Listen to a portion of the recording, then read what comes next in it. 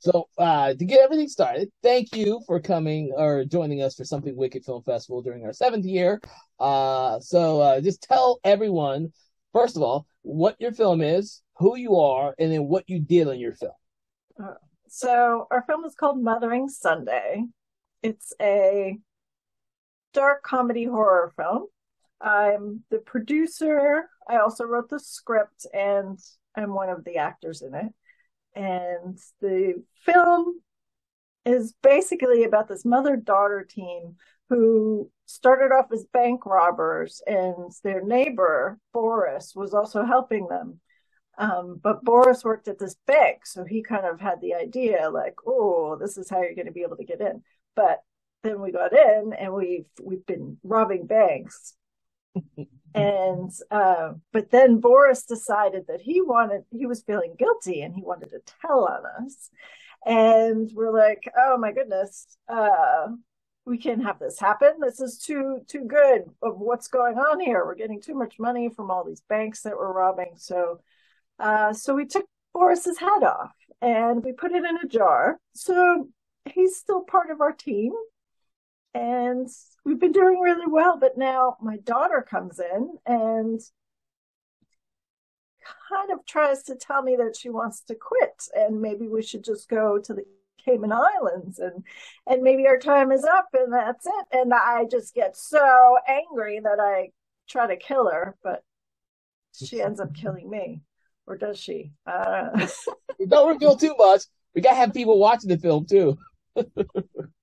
All right. So, uh, what was some of the inspiration for this film? Um, well, in so I've been writing a lot, but I've been writing more drama and more kids shows. And I was in an acting class, and they gave us a challenge. Um, so we had to pick pick a genre out of a hat, and I picked horror. And I'm like, what horror? I can't write horror. Oh my goodness, you know, I don't like saying bad words and but then like I wrote this film and I was just like, all right, you know, I, I know a little bit about horror and I just have to make it really crazy. So I tried to make it as crazy as possible and crazy and ironic. And I just had so much fun with it. And then we filmed it. And I was just like, I love horror. This is so much fun. And I and then I started finding out like there's all these horror followers that love horror and and it's just this really big thing. I was just like, oh my goodness, I love it. So now I've been watching horror films and I've been really paying attention to it, trying to figure out how to make good horror films, going to all these workshops for horror because it really got me addicted. It's really fun you know, your story is so interesting because it's the first time I've ever heard of it. So someone uh, having to write a horror a horror short for class eh, or uh, and then making one loving it. So that is very interesting. That's why i have to ask these background questions because everyone has a different story. So i'm yeah. assuming you really you now you like horror. Yeah totally. I've already um, written another horror script and and I'm thinking about making this script into a full length movie, but um, oh. I'll start with the other one that's a, a short for uh, for now and try to get some funding for that, and then hopefully maybe I'll be able to get some funding for a full length movie and make this short that Mothering Sunday that's um, at uh, the, the Something Wicked Film Festival um, into a full length. Well, that's very interesting because the the title's great, so that would be great for a a new uh, horror uh, feature. So definitely keep that. um. So what what is your what is your background then? What, what, did you go to film school, or did you just kind of learn on the fly, or taking workshops? How, what's your background?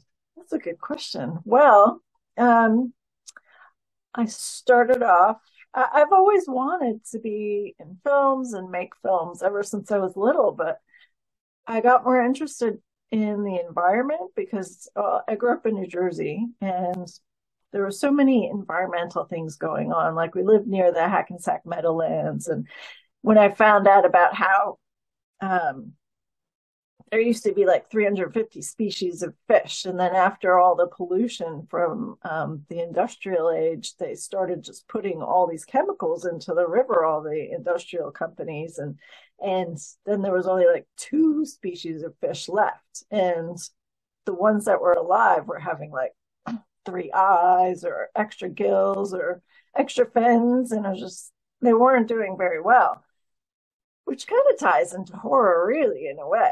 Must next horror film right there. Exactly. So I've just been destined, I think, to make horror films. So, so I, I started off as environmental um, and worked as a professor for many years, but then started getting. Um, so I've done the work that I've done is is really important, like helping making parks and helping with rivers and clean things up. So the work that I've done is really, really important. But then I started thinking, but you know, I've always wanted to do films. I want to get back to it. So that's when I started taking acting classes and I started taking writing workshops and um, yeah, and then just started going from there. And now I'm just addicted. It's like, ah, that's it. That's it. I've dropped the whole uh, professor stuff and now I'm full into films, like full time. Oh wow! Well, that's good. Uh, that's impressive. So that's good. Uh, um, so um, getting uh, a little bit uh, some more of your background. So you felt gravitated towards mostly dramas and stuff first, right? That's right. And uh, so uh, did you do a whole bunch of films before doing this one that were in that genre?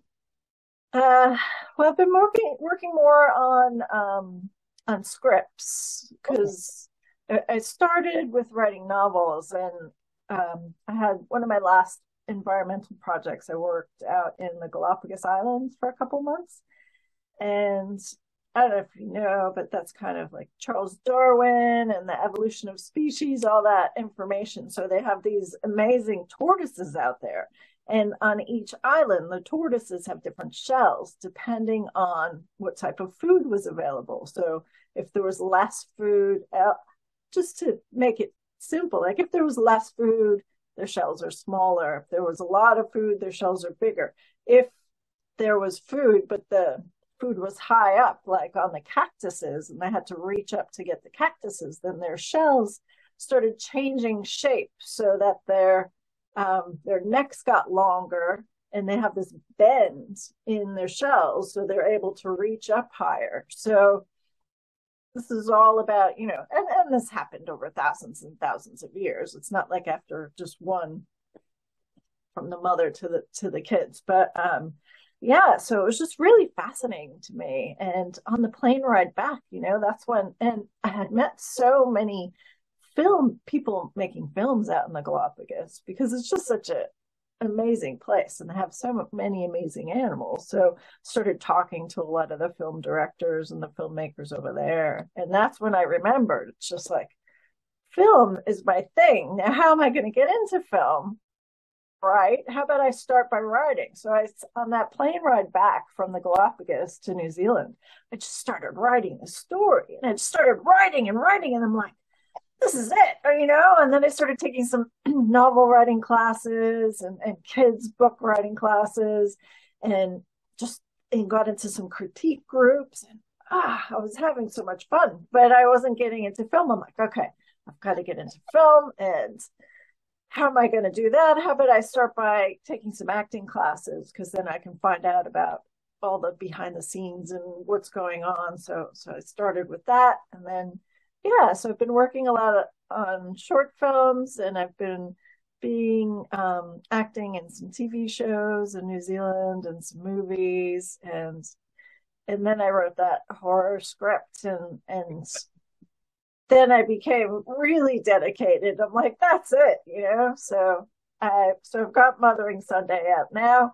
I'm also have produced another film called Proud Hooligan, which um, wouldn't fit at your film festival. And uh, in a couple of weeks, New Zealand has this thing called the 48 Hour Film Festival. Yep. yep and so we're going to be participating in that too but they give you the genre there too so it's kind of like random draw out of a hat and then you have 48 hours to make these films so uh so that's going to be really exciting and have you ever done a 48 hour I I have not done 48 hour before, so um, but it's on it's the 12th to the 14th of August, so it's coming up soon. So I'm kind of already stressing out, like, oh my goodness, we have to have all the teams, and what do we have? And anyway, fun. I've done several of them here in Georgia. Uh, they are extremely fun, and they are a little crazy. But as long as you have a good team, then you can finish your film, get it uh, submitted in in in on time, and then you just let the audience watch it and enjoy it because there is a little bit of chaos in being given the genre, and I don't know if it's the same uh, in New Zealand, but uh, we get given a, a genre, uh, the the prop, and then the line that has to be said. Uh, so it's always uh, quite funny to watch them in a, with a big audience. So yeah, yeah. Oh. Well, you have more experience with them than me, but uh, yeah. So I'm I'm already stressing out about it, and it's a couple weeks away. But the mm. director that we're working with, he's like, just just calm down. It's gonna be okay. It doesn't matter. We're gonna get this film made. it's gonna be okay. so uh, what I'm hearing is that you've got a big writing background. So, are you gravitating more towards the writing aspect of filmmaking, or are you trying to be a director, or do you really enjoy the acting aspect or producing? Which one do you kind of gravitate more towards? That's a good question. I, I would say I love organizing and I love writing. So I think producer. I really like producing, but I really love writing. But at the same time, I'm having a lot of fun acting. So um, I don't know. I'm going to go with those three for now. But um, yeah, no, I definitely, I, I've always been an organizer. I've organized. I remember even when I was in high school, I'd organize trips and I'd organize all the food for all the trips and everything and the locations where we go and, and scouting out locations. I, I really feel like all this stuff that I've done in the past has really just made me a really good fit for being a producer. you never know if you're a good producer until after you've been on the film and you realize all those skills that you've acquired over the years are what you need as a good producer. I was the same way. I was I was coming in as a, I wanted to be a director and writer. And then I realized I was really good at organizing. Hence, I'm doing a film festival. Uh, I was really good at organizing, so I became like a production manager, line producer slash producer. I, and and now a film uh, festival co festival director and program director.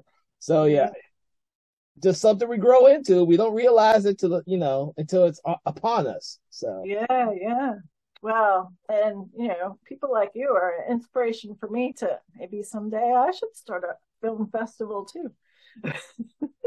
uh, find the uh, see. I the reason why I do a film festival is I love I love to talk and meet up with filmmakers from all different uh, walks of life. The I hate to say it, but COVID was actually beneficial for us because we were used to doing these interviews with only the people who came to our events. But because of COVID, we did the Zoom thing, and now I'm meeting people from all over the world. So this was yeah. this is much different than what we were doing before, and I actually enjoy this a little bit more because now I'm getting your perspective of filming there in New Zealand. I had uh, um, one of the filmmakers was from Mexico that we spoke with earlier. I had a couple in California. Their their predicament is different than ours, considering that they have a little bit more of a, a, industry there with people who are willing to give them money, and they have more stars that you know to pull from. So the, different the different places you're from will allow you to, uh, to grow as a filmmaker in different ways. So being in New Zealand, you're learning a different way of, of becoming a filmmaker because uh, your background isn't like going to a film school.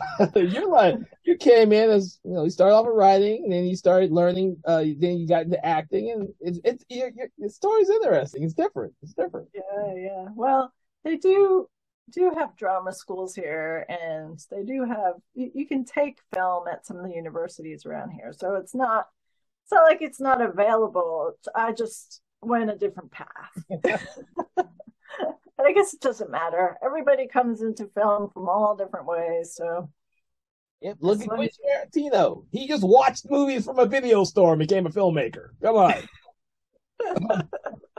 so, so um, that's awesome. so tell me something interesting about what happened on the film set. Was there any challenges that you faced as a filmmaker on this that you had so many hats? Um, well, because this was really the first one that I had produced, uh, we had gotten uh, in, in, my class. Luckily, in my acting class, we had a director that was keen to direct, and we had a, Uh, a DOP who was keen to film, and both of them had a real lot of experience. So they were able to bring in some of their other colleagues because at that point in time, which you know it wasn't that long ago but now it seems like ages ago like i wasn't exactly sure how much was involved in in making a film like i knew people were you know filming and i knew we had all the actors and i knew we had the makeup people but um i didn't know about how much besides behind the scenes work really goes into it and such the importance of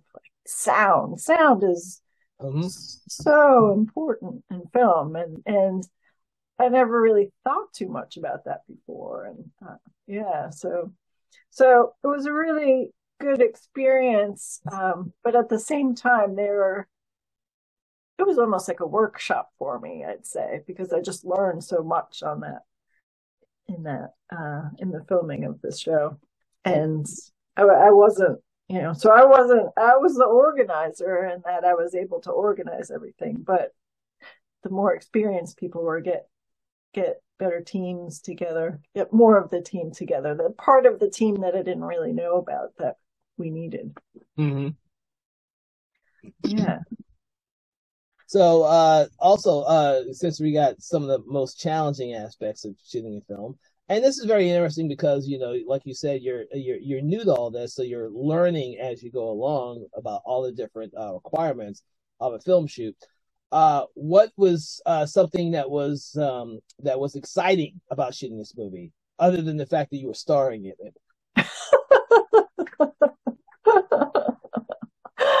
um, well i found that uh, we had an art director and she did an amazing job of because I had I can actually go get I'll be right back in two seconds. Okay.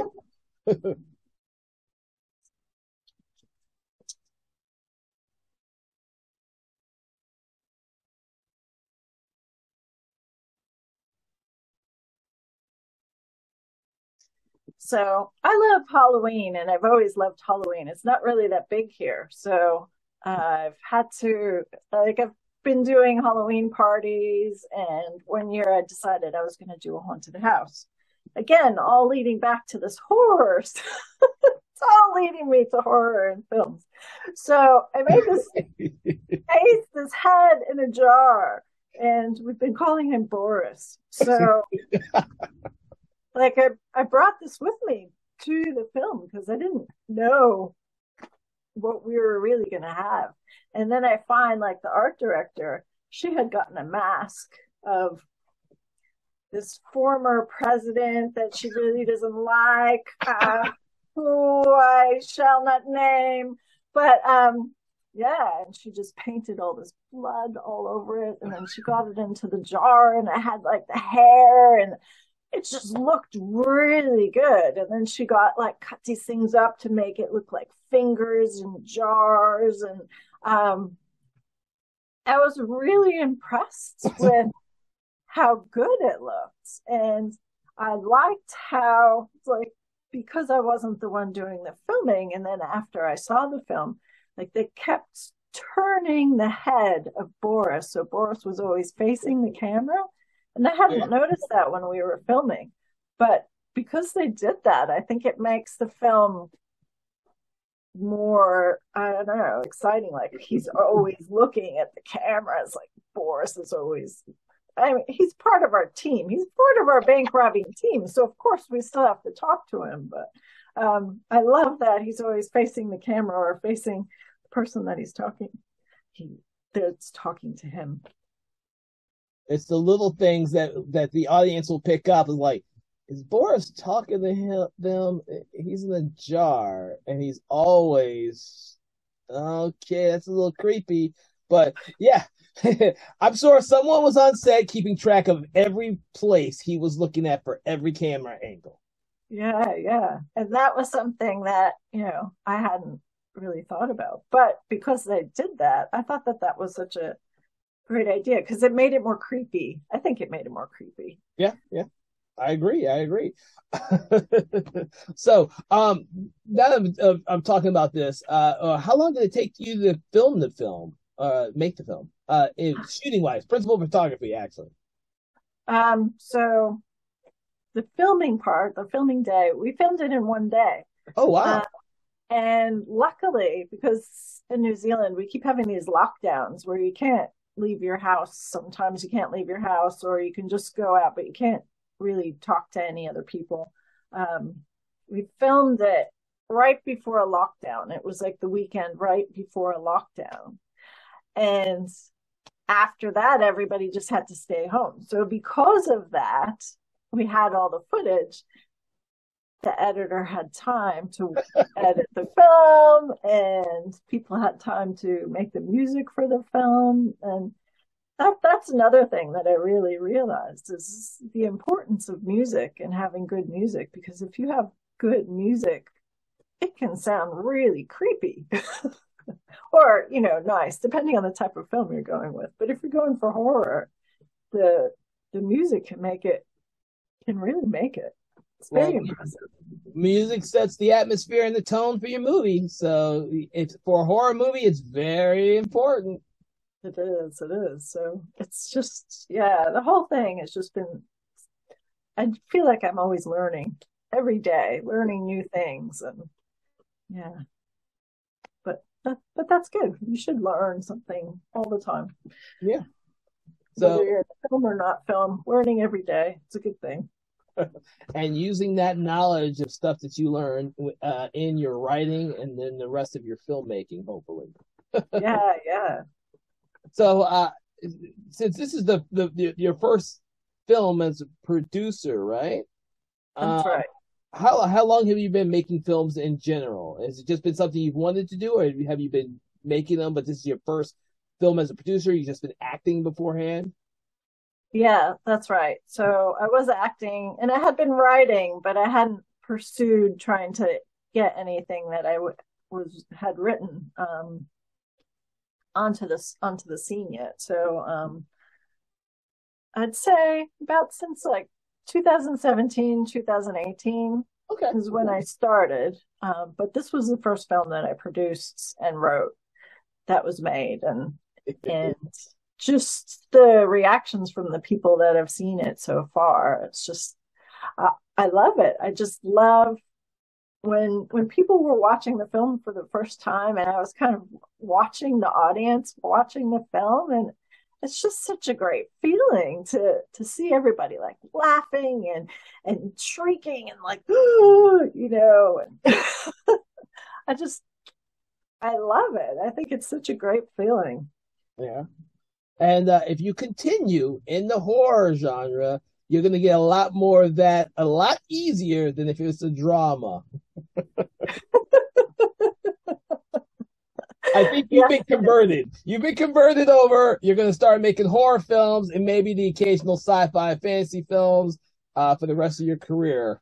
I think I think you're correct, but um, but I do have that kid story that I would love to get animated that I've been working on from oh. the about the tortoises from the Galapagos Islands. So I will continue with that to get that into an animated movie. But um, for myself, for and acting as a horror in a horror movie is so fun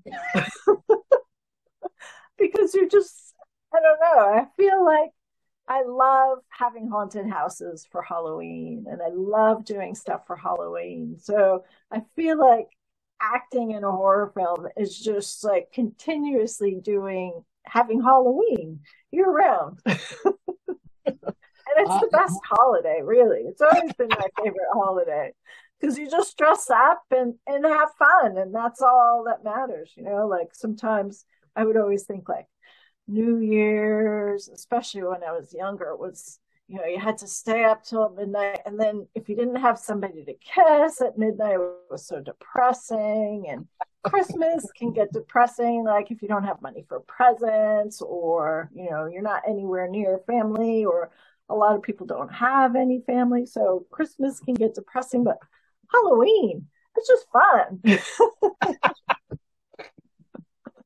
So, uh, what I'd really love to see is you to do a Halloween film that takes place in New Zealand. That's a good idea. I'll write that idea down. oh my god! So, uh, are do you because uh, you mentioned the animated movie? Uh, do you have a background in animation at all, or you just have a story that you want to be animated eventually? I just have a story that I would like to get animated. So the story is kind of like a cross in between Ice Age and Land oh. Before Time, like a um, and it's a it's a journey about these two tortoises, his brother and sister, and and how they become the first tortoises on the Galapagos Islands. So, oh, that's a great that's a great idea. Huh.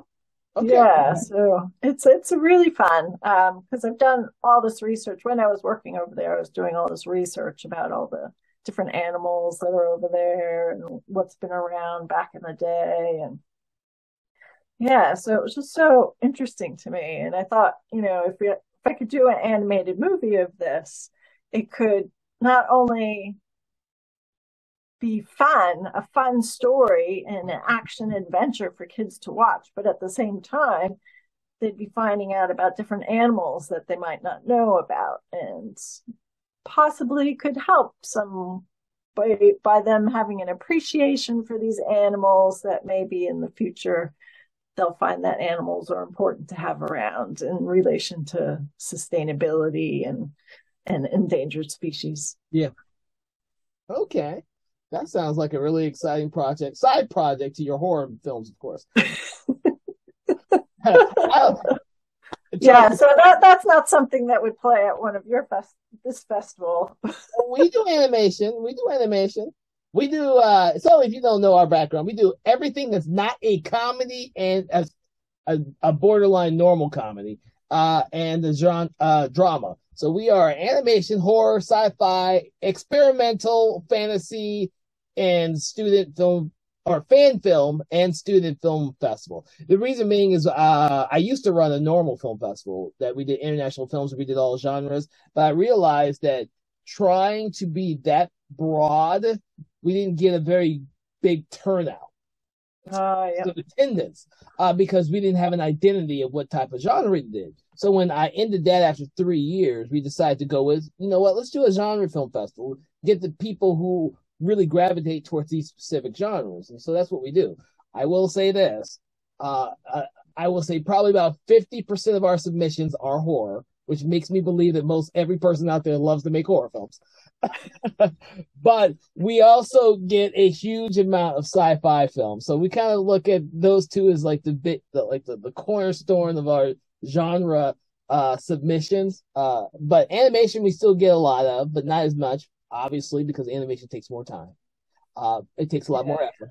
Uh, but we do get some amazing films in here with different types of styles. So when someone like you says you're you are interested in doing an animated project, I hope that you you can go out there and find uh, a filmmaker or do it yourself um, and uh, be able to do your either short or feature based on your story uh, and not be hindered by the fact that animation is an artwork, uh, an art style that then you have to do for film. But computer animation programs out there, there are tons of them that can allow you to do your story uh, justice. Because uh, I think it's a story worth doing, um, unless of course you just want to write it first and then try and produce it. So, yeah, yeah. Well, I'm not going to learn animation. There's too many things I'm already learning.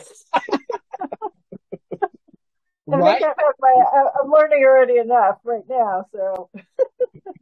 no, that's fine. Uh, I think last year we had a feature animated film in which the husband and wife spent three years making it. So they oh, had, they had they took so I, I wish I could remember the program they used, but they essentially shot it like a they were shooting a normal film, and then went over an animated rotoscope style, Uh, it took Oh. them years to get through all of the footage. Uh, and then now they're now they figured out all the bumps.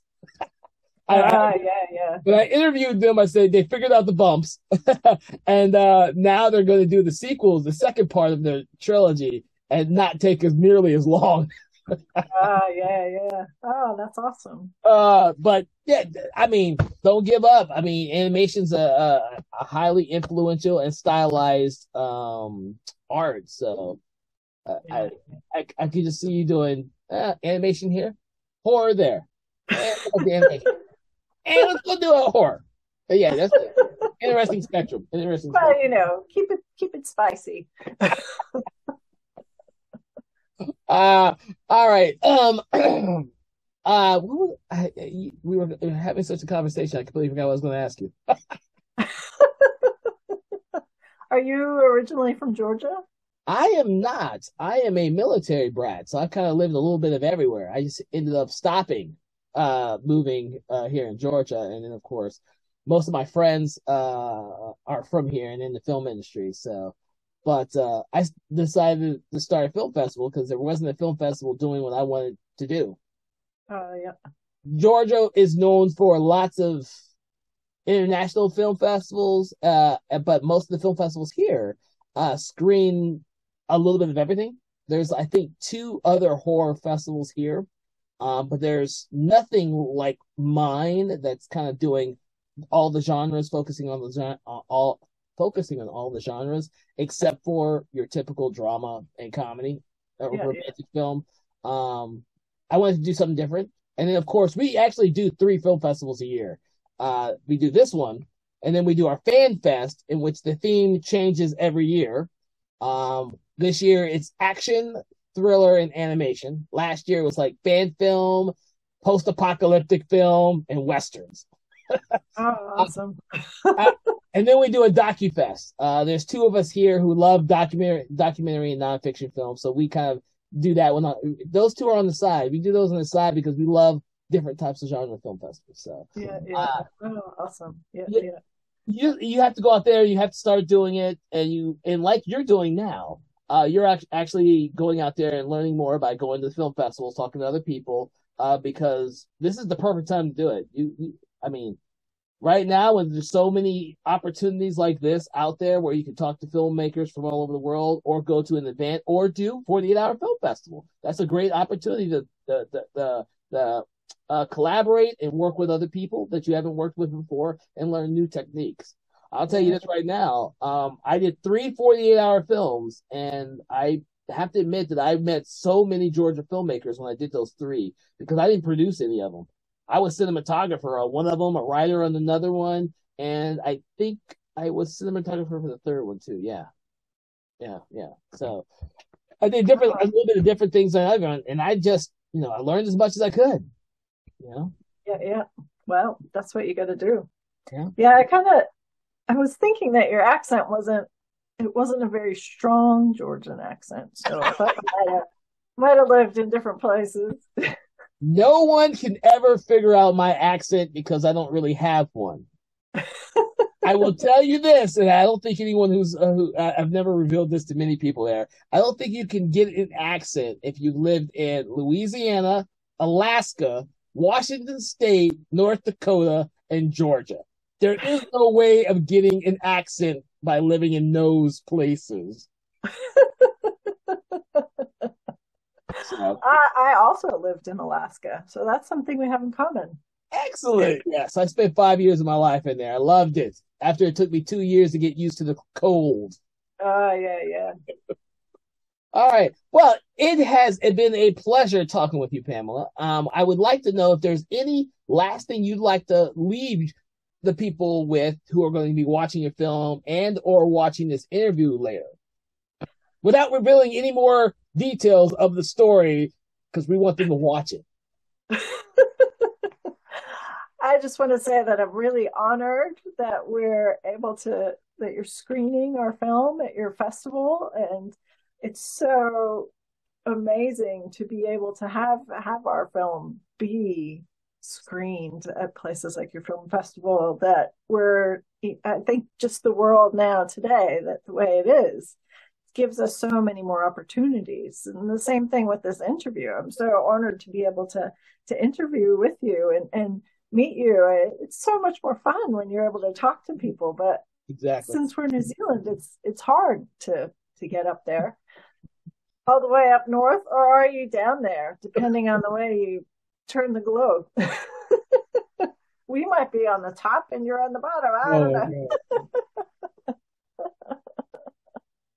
um, yeah, so yeah, that's all. I don't know. I wonder if I should start over and, and redo my uh, describing the film so I don't give too much of it away. I don't know. uh, no, see, I will. I in the audiences will forgive you because this is one of your first films as a producer, where you uh, wrote and acted and did a little bit of everything in the film. Uh, when you so when and this will be good for you for the next time you do an interview for a film festival, you get you be a little bit more ominous with the description of your movie. Uh, and then with your next movie, you'd be even more ominous. I'm not going to tell you anything uh, other than it's about uh, it, it, it's about a, a, a mother and daughter and a skull in the jar. That's all I'm telling you. You got one the rest. I love that. I love that. All right, Pamela. It's been great talking to you right now. Uh, and I want to thank you for joining us for something wicked this year. and thank you for having us, Kevin. It's really fun. You're welcome. Uh, and I look forward to seeing your next film. Uh, so uh, keep in keep all of all all three of our film festivals in, in the loop. Uh, if you uh, if it doesn't fit this one, it might fit one of the other two. Okay. That sounds good. That sounds good. That's all right. You have a you have a good evening. all right. You too. Bye.